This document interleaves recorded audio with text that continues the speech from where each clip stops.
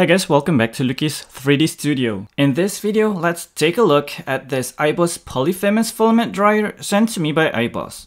I received the Polyphemus dryer itself and this mystery box and I think I have an idea what would be inside, but let's get back to that later. Now let's unpack this box.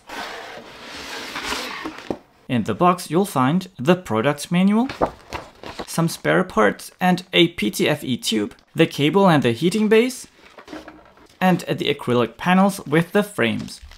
The assembly process itself is super easy, there's no really way you can mess it up.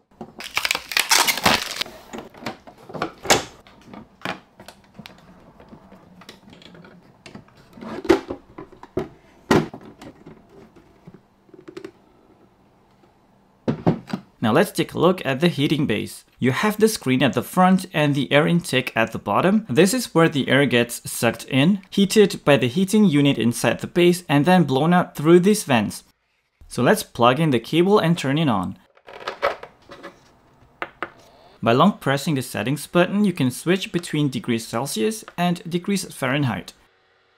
Press the option button to change the filament type. There are 9 profiles in total, each with its own pre-saved drying settings. However, you can adjust the temperature, heating level, and drying time by pressing the settings button and customizing them to your needs. Now what's really cool about this dryer is you can press this rotate button here to activate the spool rotation function during drying, which ensures that your spool is evenly heated. So let's use the dryer to dry this wet matte Bambu Lab PLA filament. I used it to print the prototype of this temper handle, which I featured in my previous video, and it had some stringing issues. Now before we dry this filament, let's print this model. As expected, you can see some stringing on the model. Now I'm gonna dry this filament for 6 hours at 50 degrees Celsius.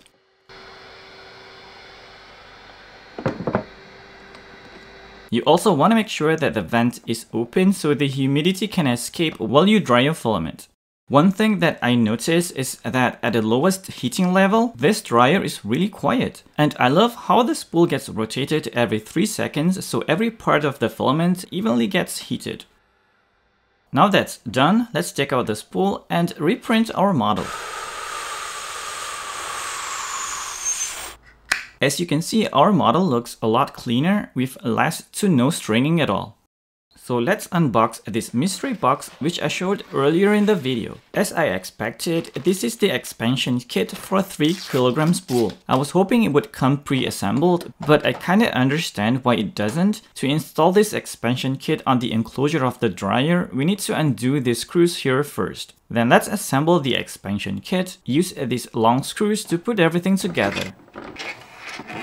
The expansion kit adds 40mm of height to the enclosure, allowing you to fit 3kg spool inside. The dryer has 7 filament outlets, 2 at the front where the screen is, 2 at the back, and 3 on top. This means that you can fit your printer from the dryer while it's drying your filament.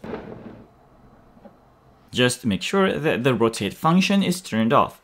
So if you're looking for an affordable dryer that rotates your spool while drying, this might be the one for you. In fact, EIBOS is one of the first companies that introduced the rotational filament dryer. Now there's two compartments here in the base where you can put some desiccant packs in in case you want to use this as a storage for your filaments, but the whole system itself isn't airtight, like the enclosure just sits loosely on the heating base like this, so I probably wouldn't use this to store my filaments. That said, this dryer also features an automatic drying function, so you can use it for storage if you have it activated. The dryer will then turn turn on on its own and continuously dry the filament and the air inside once the humidity rises above that threshold you've set. Or you can use this filament vacuum seal bags and store your dried filaments inside them. EIBOS also sells these and they come with a small USB vacuum pump which is a really neat add-on.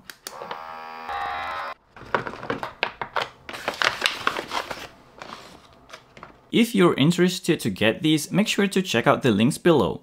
So I hope this video is helpful to you guys and don't forget to leave a like and a comment and make sure to subscribe to the channel if you haven't already and I'll see you guys in the next one.